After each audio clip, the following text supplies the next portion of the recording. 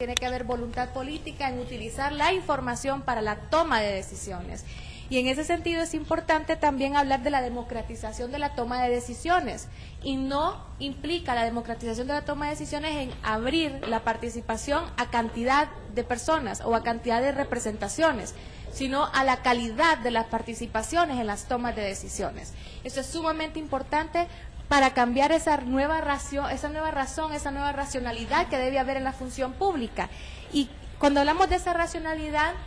es importante destacar el tema de la gestión pública para el desarrollo o la acción para el desarrollo basado en resultados. Algo que se pueda medir, que sea alcanzable, que sea tangible.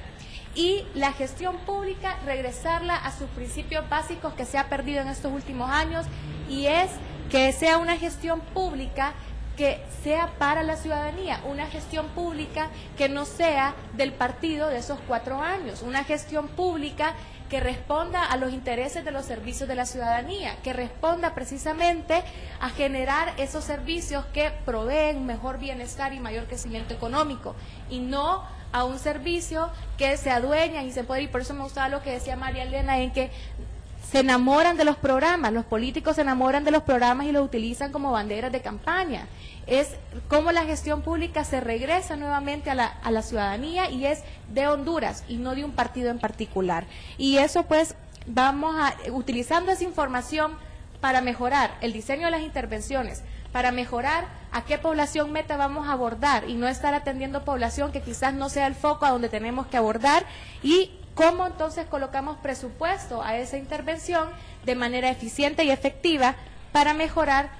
y generar nuevos conocimientos y que constantemente haya una opinión técnica y una profesionalización también de los cargos donde se toman las decisiones? Porque a veces donde se toman las grandes decisiones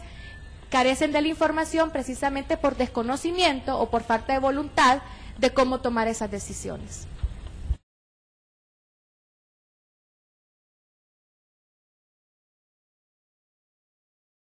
Es importante eh, que como sociedad civil empecemos a rescatar nuevamente eh, ese principio fundamental que no estamos para ni suplantar un rol del gobierno, ni para generar programas que suplanten esa, eh, ese rol del gobierno de poder prestar ese, esos servicios y de poder facilitar el crecimiento económico y el desarrollo del país, sino más bien cómo complementamos y cómo trabajamos complementariamente y articuladamente con el gobierno, con el sector privado y con la cooperación para contribuir a ese crecimiento económico y a ese desarrollo.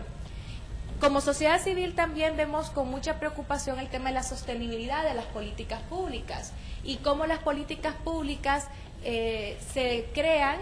sin presupuesto que respalde las acciones de las políticas públicas. No podemos nosotros eh, intentar creer que solamente con el mero hecho de que exista una política pública vamos a resolver el problema. La política pública tiene que tener un presupuesto y tiene que tener un marco de acción dentro de la misma institucionalidad del Estado, no por cumplir requisitos ante la comunidad internacional ni por cumplir requisitos ante la comunidad nacional. Y en ese sentido, entonces, eh, como sociedad civil vemos que es importante que apoyemos y contribuyamos con eh, el, poder político, llámese partidos políticos o llámese gobierno una vez eh, electo, en que podamos eh, ya salir del tema de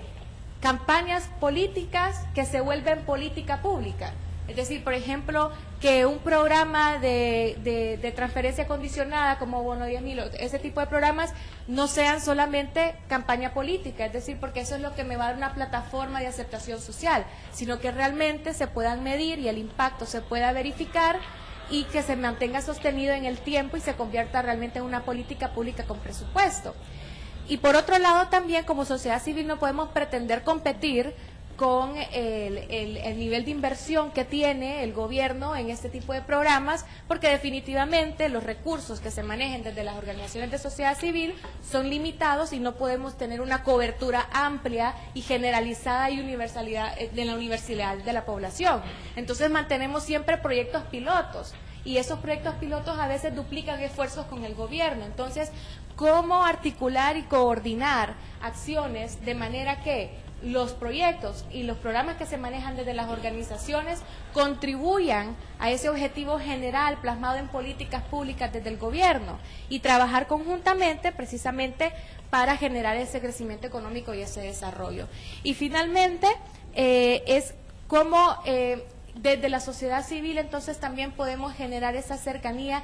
y esa, esa interlocución ciudadanía, población y gobierno a manera también de facilitar procesos de medición, de evaluación y de aprendizaje. Creo que la sociedad civil tiene un, un, rol muy importante junto con la academia en generar aprendizajes para orientar y recomendar acciones al gobierno.